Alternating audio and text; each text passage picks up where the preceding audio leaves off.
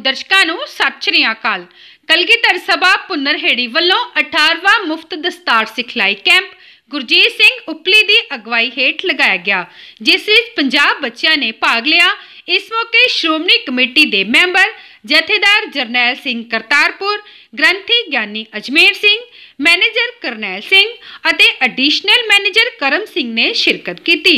ਇਸ ਮੌਕੇ ਸੁੰਦਰ ਦਸਤਾਰਾ ਸਜਾਉਣ ਵਾਲੇ ਬੱਚਿਆਂ ਨੂੰ ਸ਼੍ਰੋਮਣੀ ਕਮੇਟੀ ਵੱਲੋਂ ਧਾਰਮਿਕ ਪੁਸਤਕਾਂ ਅਤੇ ਮੈਡਲ ਦੇ ਕੇ ਸਨਮਾਨਿਤ ਕੀਤਾ ਗਿਆ।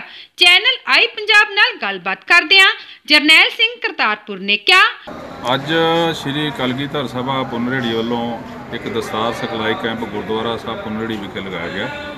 ਜਿਹਦੇ ਵਿੱਚ ਲਗਭਗ 50 ਬੱਚਿਆਂ ਨੇ ਹਿੱਸਾ ਲਿਆ। ਲਗਾਤਾਰ ਇਹ ਕੈਂਪ 7 ਦਿਨ ਚੱਲਦਾ ਰਿਹਾ। ਸਰਦਾਰ ਗੁਰਜੀਤ ਸਿੰਘ ਜੀ ਪ੍ਰਧਾਨ ਤੇ ਉਹਨਾਂ ਦੀ ਸਮੁੱਚੀ ਟੀਮ ਲਗਾਤਾਰ ਇਹ ਸਿਖਲਾਈ ਦੇ ਵਿੱਚ ਹਿੱਸਾ ਦੇ ਲੈਂਦੀ ਰਹੀ।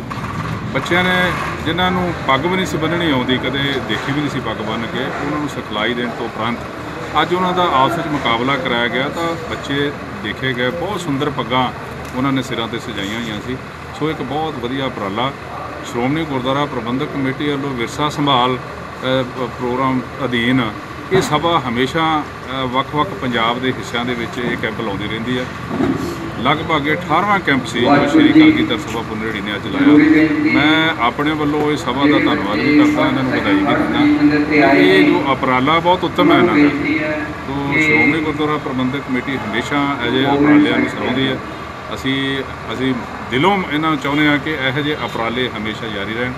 ਸ਼੍ਰੋਮਣੀ ਗੁਰਦੁਆਰਾ ਪ੍ਰਬੰਧਕ ਕਮੇਟੀ ਆਉਣ ਵਾਲੇ ਦਿਨਾਂ ਦੇ ਵਿੱਚ 7 ਫ- ਜਨਵਰੀ ਤੋਂ ਗੁਰਦੁਆਰਾ ਸਾਹਿਬ, ਬੇਰ ਸਾਹਿਬ, ਸੁਲਤਾਨਪੁਰ ਲੋਧੀ ਤੋਂ ਗੁਰੂ ਸ਼ਬਦ ਮਾਰਚ ਆਰੰਭਤਾ ਹੋ ਰਹੀ ਹੈ, ਜਿਹੜੀ ਪੰਜਾਬ ਦੇ ਵੱਖ-ਵੱਖ ਹਲਕਿਆਂ ਦੇ ਵਿੱਚੋਂ ਦੀ ਹੁੰਦੀ ਹੋਈ, ਜ਼ਿਲ੍ਹਿਆਂ ਦੇ ਵਿੱਚੋਂ ਹੁੰਦੀ ਹੋਈ ਪਟਿਆਲਾ ਜ਼ਿਲ੍ਹੇ ਦੇ ਵਿੱਚ, ਸਨੌਰ ਹਲਕੇ ਦੇ ਵਿੱਚ ਫਰਵਰੀ ਦੇ ਵਿੱਚ ਆਏਗੀ। ਮੈਂ ਇਹਨਾਂ ਨੂੰ ਸਾਰਿਆਂ ਨੂੰ ਬੇਨਤੀ ਕੀਤੀ ਹੈ, ਸਾਰੇ ਪ੍ਰਬੰਧਕਾਂ ਨੂੰ ਵੀ, ਬੱਚਿਆਂ ਨੂੰ ਵੀ ਕਿ ਤੁਸੀਂ ਉਸ ਵੇਲੇ ਤੱਕ ਤਿਆਰੀ ਕਰਕੇ ਸਾਰੇ ਬੱਚੇ ਉਸ ਸਮਾਗਮ ਜੋ ਜਿਹੜਾ ਮਾਰਚ ਆ, ਉਹਦੇ ਅੱਗੇ ਲਾ ਕੇ ਮੋਟਰਸਾਈਕਲਾਂ ਤੇ ਹੋ ਕੇ ਉਸ ਮਾਰਚ ਦੀ ਸ਼ੋਭਾ ਵਧਾਉਣੀ ਆ ਤੁਸੀਂ। ਸੋ ਸਾਰਿਆਂ ਨੇ ਇਹਨਾਂ ਨੇ ਸਹਿਮਤੀ ਭਰੀ ਆ, ਮੈਂ ਇਹਨਾਂ ਦਾ ਧੰਨਵਾਦ ਕਰਦਾ। ਤੇ ਆਸ ਕਰਦਾ ਕਿ ਸ਼੍ਰੋਮਣੀ ਗੁਰਦੁਆਰਾ ਪ੍ਰਬੰਧਕ ਕਮੇਟੀ ਵੱਲੋਂ ਚਲਾਈਆਂ ਹੋਈਆਂ ਇਹ ਜੋ ਪਰੰਪਰਾਵਾਂ ਨੇ, ਜੋ ਇਹ ਮਰਿਆਦਾਵਾਂ ਨੇ, ਉਹਨਾਂ ਨੂੰ ਇਹ ਲੋਕ ਸਾਨੂੰ ਹਮੇਸ਼ਾ ਸਹਿਯੋਗ ਦਿੰਦੇ ਰਹਿਣਗੇ। ਗੁਰਜੀਤ। ਪਹਿਲਾ ਜੀ ਪਹਿਲਾ। ਗੁਰਜੀਤ ਗੁਰਜੀਤ ਭਾਜੀ ਪਿੱਛੇ। ਨਹੀਂ ਖੜੇ ਪਹਿਲਾ ਦੂਜਾ ਤੀਜਾ ਪਹਿਲਾ ਦੂਜਾ। ਪਹਿਲਾ। ਦੂਜਾ ਤੀਜਾ। ਚੱਲ ਹੋਰ ਨਿੱਕੇ ਨਾਲ।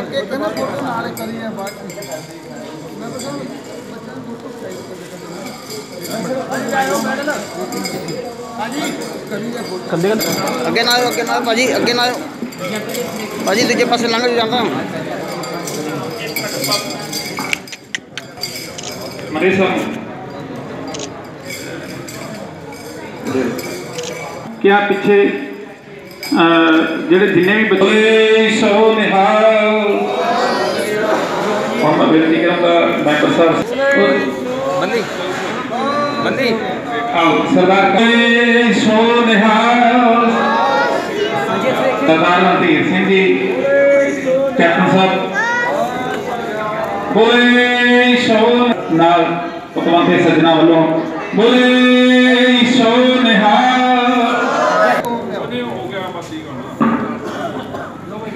ਹੋ ਰੂਪਾ ਦੇ ਜਿਹੜਾ ਬਣਦਾ ਜਿਹੜਾ ਕਾਰਜ ਕਰ ਰਿਹਾ। ਬੋਲੇ ਸੋ ਨਿਹਾਲ। ਬੋਲੇ ਸੋ ਨਿਹਾਲ। ਬੋਲੇ ਸੋ ਨਿਹਾਲ। ਸਤਿ ਸ਼੍ਰੀ ਅਕਾਲ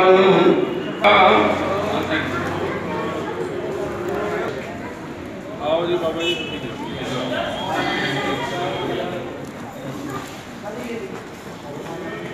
ਸੋ ਦੇਵੀਗੜ੍ਹ ਤੋਂ ਰਜਿੰਦਰ ਸਿੰਘ ਮੋਜੀ ਦੇ ਨਾਲ ਰਾਕੇਸ਼ ਸ਼ਰਮਾ ਦੀ ਰਿਪੋਰਟ।